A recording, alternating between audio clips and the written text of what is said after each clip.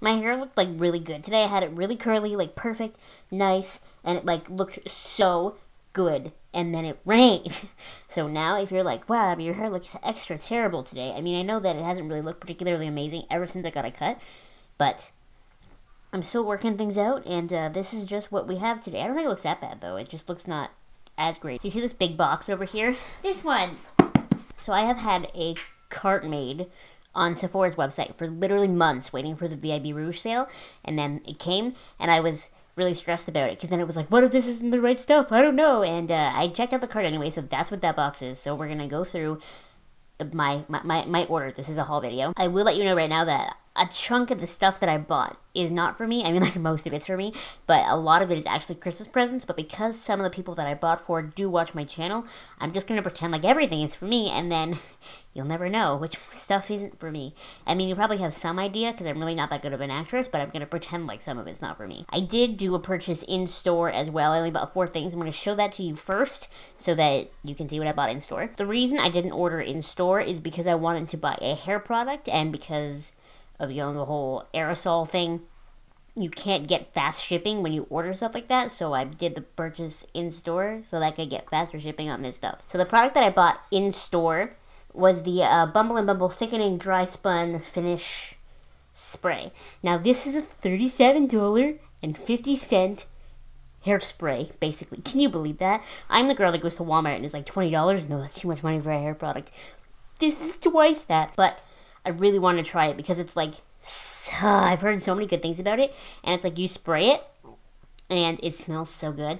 It smells like a little bit musky, but not too musky because I usually hate musky smells. It smells smells sexy. That's what I would say. It smells sexy, and basically what it does is uh, when my hair is curly, unlike now because rain, but when my hair is curly, I'll spray this in it, and then it just really helps hold the body, and it really helps hold some texture. And I can like do this and take my hand out and it'll actually stay up like that without feeling gross. And so, so far, I mean, I've only had this for a couple of days, but so far, I really like it and the smell is so good and, uh.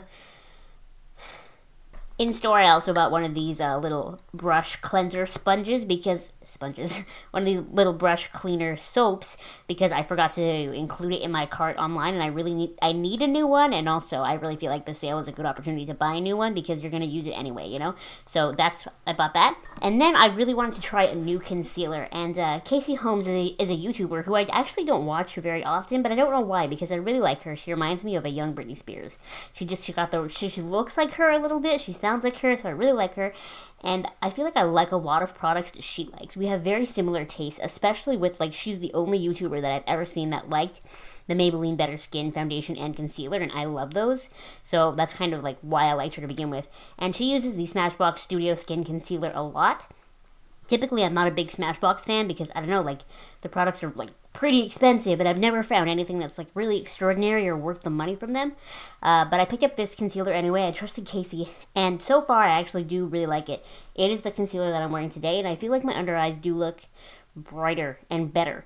And something that I like about this like whole studio skin thing that a lot of brands are doing, I know that the brands are doing it because YouTube is becoming such a big thing, but I love it because it means that the makeup is going to look like skin because now we have cameras that take video as well as, if not better than our eyeballs see, you know? So it's got to look perfect. It can't look like, you know, SD TV makeup. It's got to look pristine, and so I really like it. And this so far is a really great concealer. And the last thing I bought in store is the Too Faced Melted Matte Lipstick in Naughty by Nature. I really have been wanting a brown lipstick. I don't know why. I think it's just because when I look at my collection, I didn't have a brown, so I was like, let's buy a brown. And I really also wanted to try out the melted matte formula because I don't really like the melted formula. Maybe it's something about the applicator or whatever, but the regular melted lipsticks don't love it. But I really wanted to try the matte ones anyway, and so far, so good. So far, I really like this lipstick. I've only worn it once, but I really like it. Now that's done. Those were like mini reviews, but now we're gonna go into the box. I'm gonna put the box on my little feet tray here and just pull things out of it. Some papers, Throw my lens cap on the floor.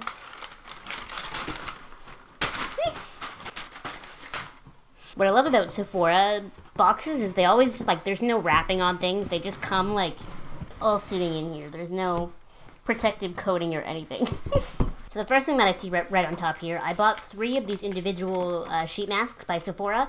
I love these. I love these. But what was weird was in store, because I made the in store purchases after I bought online, I noticed that they had like a box set of one of each of the different kind of sheet masks, but I specifically looked for that box set online because I feel like they've had that in the past and I couldn't find it. So if I had known then that it was in store, I would have just bought it in store, but I didn't.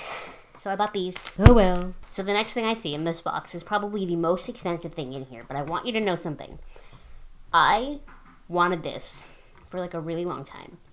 I'm talking years. And I was like, but I don't really need it because I only have one face.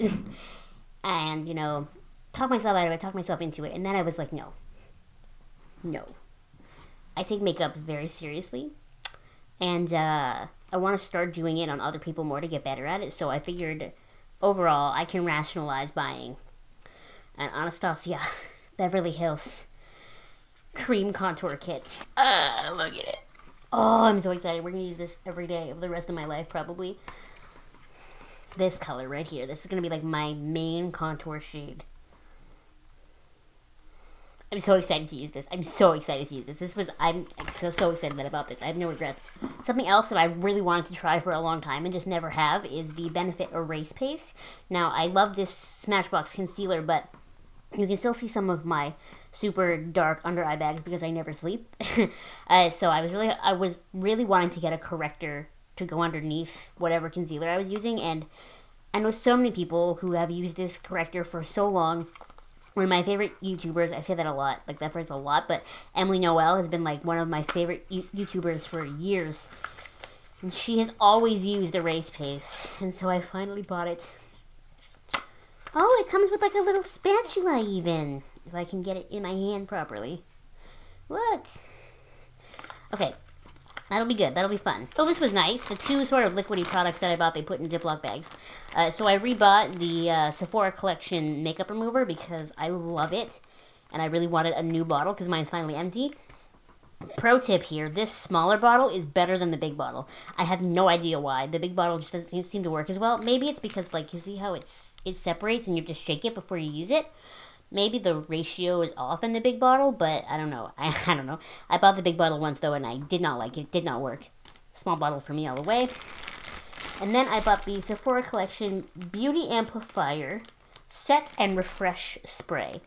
Uh, in an attempt to find a cheaper alternative to the to the Urban Decay Chill Setting Spray. That's why I bought this. So, you know, I'm looking forward to trying it.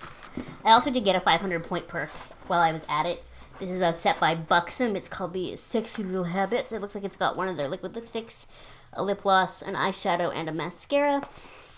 Sounds like fun. I'm going to keep the lip gloss in my purse so that I always have one. Sounds like the plan, right? Right? I don't know. It's no secret already that I love face masks. So I saw this set by Peter Thomas Roth. And, you know, this is one of those things that I think if you really wanted to, you could, like, pick one to keep and then also like dole them out as gifts or you know whatever but this is a set by peter thomas roth and it's kind of got like samples of all of their famous masks here. And it says it's a $54 value and it was $31 was it $31 holy moly. And i don't know i just think any kind of thing where you get samples of liquid masks like this like i, I would think that one of these would be two or three uses right? I think that that's just like a really great value, especially with a brand like Peter Thomas Roth that is more expensive, but is typically like really well liked. I don't know. This looks like a good set. I needed a new eye cream because my Clinique Pep Start is almost empty. And I, I like I like it a lot, but lately I feel like it doesn't hydrate enough. Like my skin is extra dry, and I need something a little bit better. So when I was looking at the Sephora website, the Clinique one is actually thirty nine dollars. I didn't realize I paid that much for it. And the Fresh Rose Hydrating Under Eye Cream is fifty one dollars, fifty two dollars, something like that. So really I feel like you're getting more product in here. It probably does better because it's fresh, so it's like a natural brand. Not that Clinique is not a good brand, but I just feel like when I think of fresh skincare, it's like next level amazing, right? And I don't know, it's not even that much more expensive. So I'm really, really excited to start using this eye cream instead. I hope, I hope I love it. I've never tried anything from Fresh that I didn't like. Tried lots of things from Fresh where I didn't like the price, but I uh, I don't know, and it looks like a pretty big little size here. You know, like you're getting a decent amount. How many? How much do you get in here? Half a fluid ounce. That's pretty good for an eye cream. I'm excited because like this right here, right where people should be, you know, putting their highlighter, is my like number one problem zone. That's where my skin is dry. So please, Fresh, help me out. Of course, I bought this. If you watch my channel, I haven't actually owned this product in about a year, but I talk about it all the time because I love it. I just can't rationalize spending like $40 on a face powder, but it was time that the Too Faced Primed and Poreless powder rejoined my life. They changed the packaging. That's not how it looked before. But I needed this. Like, I needed this. I was waiting for the Sephora order to arrive, I was like waiting, and then I went to in store and made this purchase, and this powder was all gone. I was so happy I ordered it, and I just. It's like my child went away to university and then came back. I missed you so much.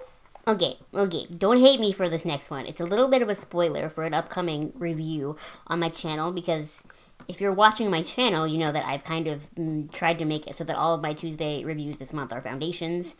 And I tried a foundation for like the fourth time, like the fourth different sample that I've had of it, and finally decided that was worth the money. Because here's the thing with these Sephora sales, I like to buy a foundation because I'm not to pay the full price for it ever because Sephora foundations, anything you get in there is expensive. I can't afford that shit. Usually I rebuy the Tarte Amazonian Clay foundation, but my skin has been so dry lately that even that foundation looks terrible on my skin. So I needed something that had a little more of like an emollient thing where it was soaking into my skin and something that was a little more hydrating and so this was the foundation I decided to get Makeup Forever Ultra HD. I bought it in the exact same shade that I got in my Ipsy bag last month because it matches me perfectly. So, like, why bother? Why bother trying a new shade, you know? It's so fancy. When you watch as much YouTube as I watch, but you don't ever buy these expensive things because they're expensive and you're poor, and then these things that you see over and over again are like finally in real life in your hand, it feels a little surreal. Like, what is this? What is this? And that is my special occasion foundation from now on. And by special occasion, I mean every day because every day is a special occasion and every day is a reason to look your best right?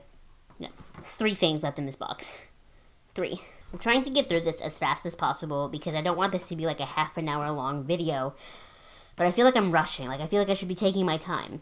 As a YouTube viewer, I like when people are chill in their videos. But as a YouTube creator, I understand that people don't want to watch super long videos. It's a really difficult thing, being me, to be honest. You had to know this was going to end up here eventually, right? The Kat Von D Everlasting Liquid Lipstick Set. So these are the colors you get uh, and what I love about them the most is that they're deluxe sample size. I don't know anyone who has ever run through a liquid lipstick.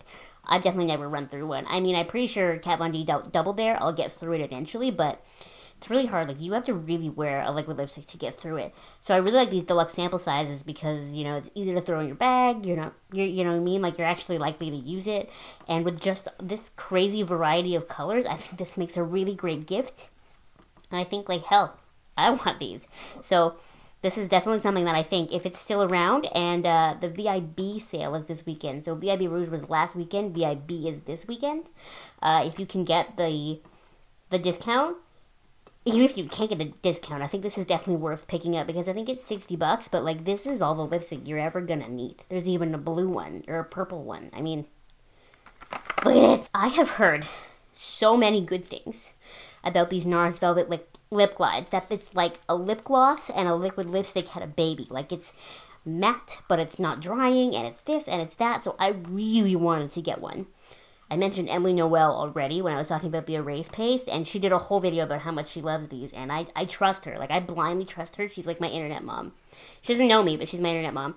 So I bought this shade. I think this one's called Stripped. Yeah, and I just, I have one NARS Audacious lipstick, and it's in the shade Grace, so it's like a really bright pink, so I don't wear it that often, but I really like it. But it does transfer a lot, so I don't wear it that often. So I really wanted to get something else by NARS, and this has that nice, like, rubberized lid.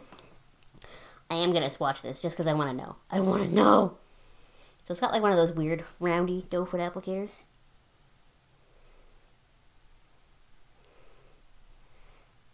Yeah, okay, I see what they mean. Definitely like hydrating and like gloss like, but I feel like I like this a lot. I'm gonna wear this. I'm so excited. There's only one more thing in here, and I had to buy this because I am such a slut for cute packaging. I didn't buy any Christmas sets last year from any brand because none of them really spoke to me. And the logical person in me who understands finances realizes that the Too Faced sets this year are almost identical to what they put out last year. I am almost disappointed in Too Faced as a brand that I consider one of my favorites for the lack of creativity in their Christmas sets this year.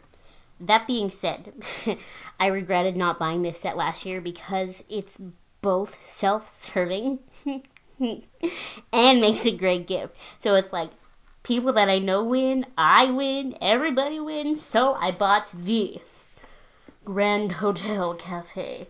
We're gonna open this right now. So basically, what this is, if, if you don't know, is it comes with three palettes and a little better than sex deluxe sample, which I forgot about. Now I can use Better Than Sex mascara. I'm excited. And then when you open the box up, the box has this like really cute design. So my plan is, I know I said I wasn't to spoil what's a present, what's not, but I'm to keep the box. It'll go in my YouTube background somewhere. It'll go on one of these shelves or whatever, because uh, the box is really cute. I think it's like a diner.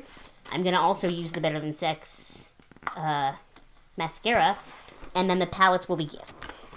Oh, okay. So I thought it was like this is just like a protective box. Okay, I can dig.